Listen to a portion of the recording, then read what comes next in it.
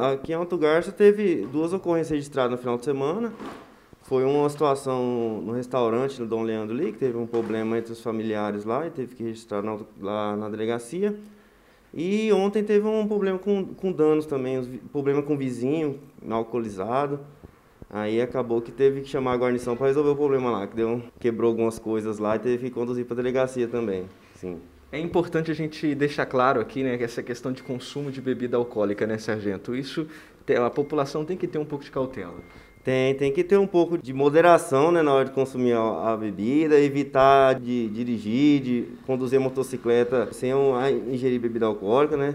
Para ter, mais, ter menos problema, porque é rotineiro do nosso serviço de atender esse tipo de ocorrência com envolvendo bebida alcoólica ou direção do veículo com bebida alcoólica, é bem complicado. Agora, em relação ao, ao som alto aqui no município de Alto Garças, como que está sendo, senhor?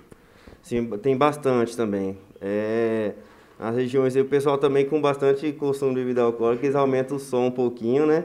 E acaba incomodando o vizinho que às vezes tem vizinho de fazenda aí que trabalha sábado, domingo, né? Aí não, aí não tem importância. É meio de semana, final de semana.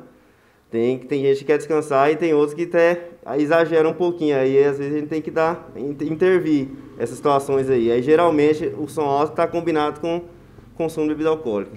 E é importante a gente deixar claro para a sociedade que a perturbação de sossego não tem um horário específico, né? Incomodou, já, já pode acionar a polícia militar. Sim, isso. Independente do horário, quem se sentir aí prejudicado com o som alto do vizinho, né? Tem que, tem que entrar em contato com a, com a guarnição da Polícia Militar, que vai até o local para resolver da melhor forma possível.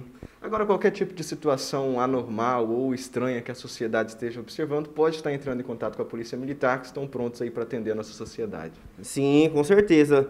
Se tiver alguma atitude suspeita, em qualquer horário, não tem hora, a gente está aqui para prestar serviço para a população e ajudar no que for preciso. Qualquer atitude suspeita, vamos verificar uma situação em casa, que você ouviu um barulho, liga para a Polícia Militar que ela vai estar tá lá para te atender. Agora, só para a gente encerrar, nós estamos caminhando aí para o final de ano, muitas pessoas costumam viajar. Qual é a dica que a Polícia Militar deixa para essas, essas pessoas? Então, se for viajar, né, que, que façam, se for bebida alcoólica, dá uma moderada é, na hora de, de, transitar com o veículo, dá uma olhada, ver, ver, se, ver se tem algum problema no veículo, se está tudo bem, para evitar problema na estrada, né, para ficar 100% aí.